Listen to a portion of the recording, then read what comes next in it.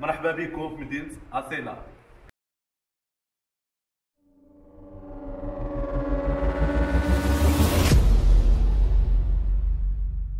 مدينة أصيلة مدينة صغيرة ولكن محاينها كبار اللي قال عليها عبد الرحمن المجدوب.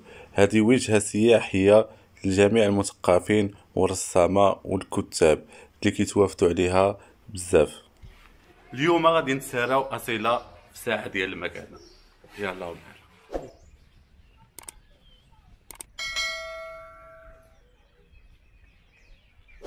وأهم الأماكن السياحية اللي غادي نقدروا نزوروا في هذه المدينة هي اللي في المدينة القديمة مور هذا السور هذا.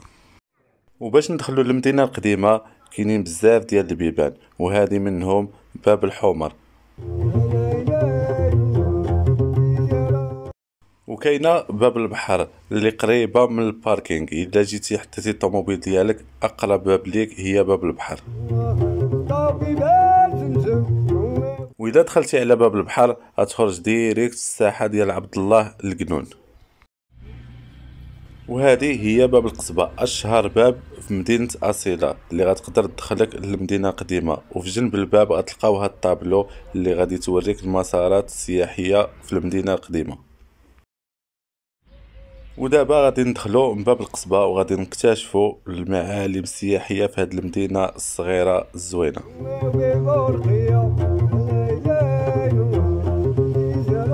وملي كتدخل من باب القصبة كتزيد واحد الخمسين متر كتلقى المسجد الأكبر أو مسجد الأعظم اللي أنفاس معاه مركز الحسن الثاني للملتقيات الدولية. وفي جنب الجامع فين كاين داك الإصلاح تما كاين باب السوق. اللي ما قدرناش نصوروها لكم ودابا غادي نمشيو نيشان حتى غادي نخرجوا في هاد الساحة ديال عبد الله القنون وفي جنب هاد الساحة هادي غتلقاو هاد القلعة قلعة القمرة اللي بناوها البرتغاليين في القرن 15 وفي وسط هاد الساحة هادي كاينة قهوة ديال أحبك. إلا بغيتي تجلس تستمتع بهاد الساحة هادي. وهاد القهوة هادي راه عندهم إلا بغيتي تكري راه عندهم الديور هنايا وعندهم حتى الغرف فوق القهوة. بزاف ديال الناس غادي يقولوا لك ما يمكن لك تسارع أصيلة كاملة في ساعة المكانة وأنا كنقول لك يمكن لك تسارع أصيلة كاملة في ساعة المكانة ولكن ما تاكل ما تشرب قهوة ما والو. تسارع. مدينة أصيلة صغيرة وما بين ساحة وساحة كتلقى ساحة. ودابا حنايا في ساحة ابن خلدون اللي في جنب ساحة عبد الله القنون هاد الساحة هادي معروفة بهاد الزرابي التقليديين اللي مزينين بهم هاد الساحة اللي كيكونوا معلقينهم في الديور. وهاد الساحة هادي كتديك نيشان للمدرسة ديال بن خلدون.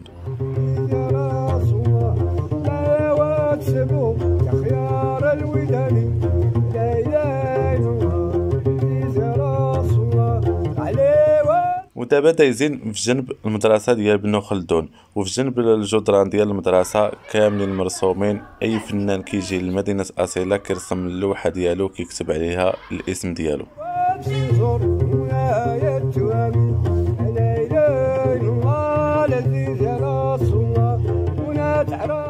وملي كتخرج من داك الدرب ديال المدرسة ديال محمد علي مرزوق كتخرج في هاد الساحة الزوينة اللي كتطل على المحيط الأطلسي. ربي يا ربي منى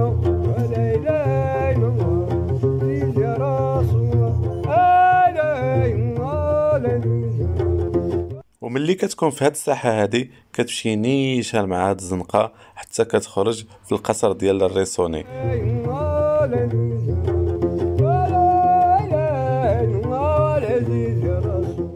ودابا غادي ندخلو من هاد الباب هادي اللي كتدخل من فوسط ديال القصر. قصر الريسوني هاد القصر هذا كيديروا فيه معارض ديال الفنانات التشكيليين.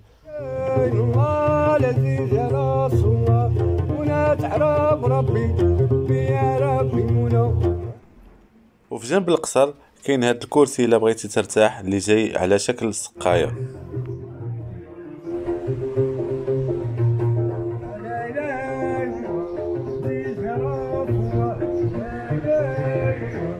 ودابا غادي نمشيو لأهم المعالم هنايا بمدينة أصيلة برج القريقية وهذه هي الدخلة ديالو.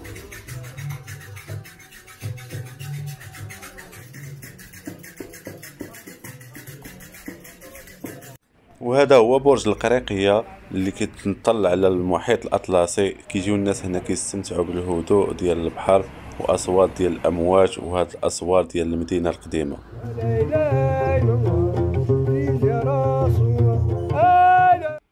وملي كتكون في البرج ديال القريقيه هنا كيبان لك بأن أسوار المدينة تسالاو وهذه إطلالة على المدينة الجديده ديال أصيلة.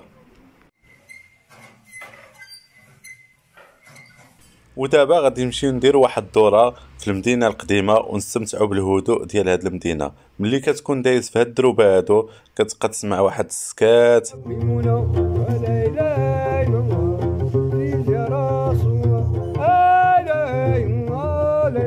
وفي وسط المدينة القديمة كتلقى محلات كيبيعوا الأواني وكيبيعوا الديكورات التقليدية مصوبين باليد اللي كتلقى فيهم واحد الحس إبداعي. مدينة أصيلة واحد المدينة اللي زوينة وعندها واحد الطابع ديالها اللي ضروري أي واحد جا للشمال المغرب يجي لهاد المدينة الزوينة.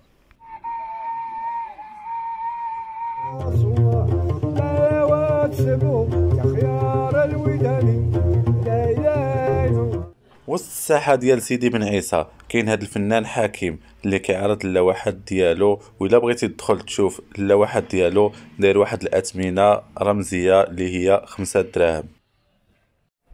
وبالنسبة للفنانة اللي ما عندهمش إمكانيات باش يديروا المعارض هنا كيعرضوا اللوحات ديالهم غير في الأزقة هنايا في المدينة القديمة.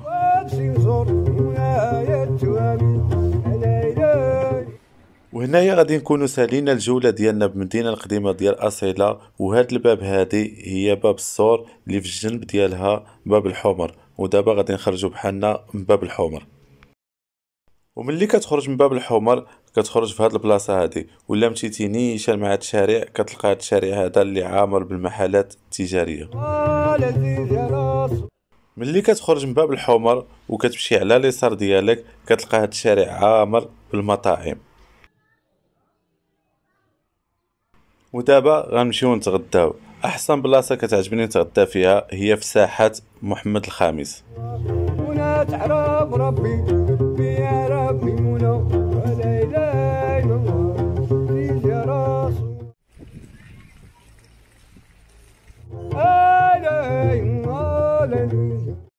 وملي كتكون في ساحة محمد الخامس كاينين هاد الدروبة هادو اللي فيهم بزاف ديال المطاعم ومن أشهرهم هو بادريس اللي مختص بالسمك مشهور هنايا بمدينة أصيلة بالمقولة ديالو أعمل شغلك.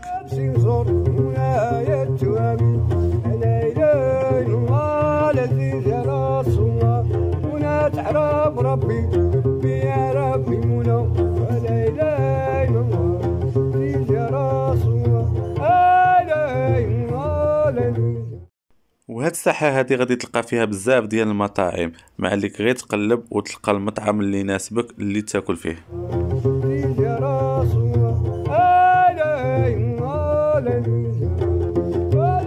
ودابا غادي ندخلو للمرسى ديال أصيلة اللي حدا ال parking ديال باب البحر.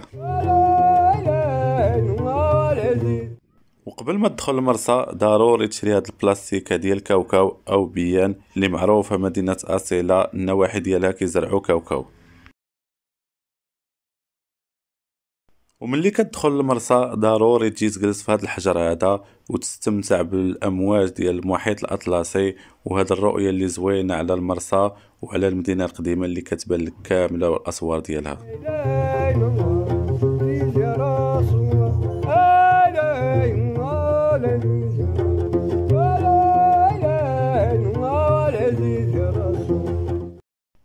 وملي كتسالي الدورة ديالك من المرسى هنايا بالضبط حدا البرج ديال القصبة. هنا كاينين بزاف ديال لي كوتشي. إلا بغيتي تسارى في الكورنيش ديال أصيلة راه اثمنه مناسبة. هاد الكورنيش هذا كتلقاه عامر بالصيف المحبين ديال الشواطئ والاصطياف معزيز عليهم مدينة أصيلة. وإلا بغيتي تبات في مدينة أصيلة كاينين هنا بزاف ديال الفنادق وراه الكرا موجود والفنادق موجودة. وإلا بغيتي ال camping راه كاينين هنايا جوج وبالضبط راه كاينين في الكورنيش هنايا في التالي ديالو اللي البيبان ديالو راه جايين مور الكورنيش. إلا بغيتي تدخل كتلقى الباب هنايا وكاين ال réception وهذا هو الأثمنة ديال ال camping الأول.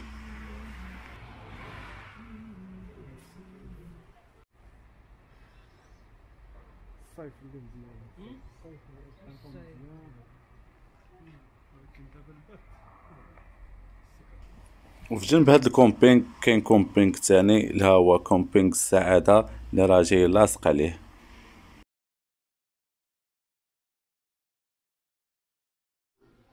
وإلا بغيتي تبات في الرياضات هنايا في المدينة القديمة ديال مدينة أصيلة راه موجودين الرياضات. وبالنسبة للأثمنة ميمكنليش نقولك الأثمنة لأن ما عارفش شحال بيكم وشنو باغي المستوى اللي باغي. ما عليك غير تقلب فين تبات راه موجود فين تبات.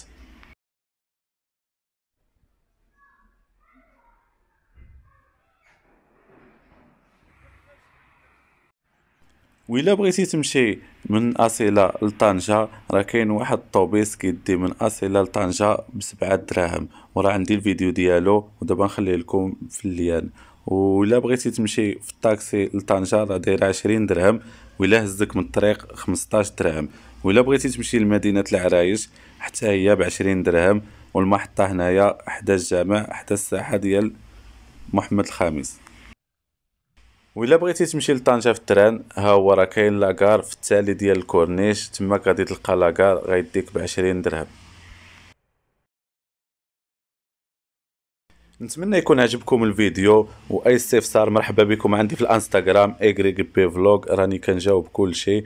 وهنايا مازال الا بغيتي تستمتع بالحدائق هنايا بمدينه اصيله راه كاين ما يتشاف وتهلاو في راسكم.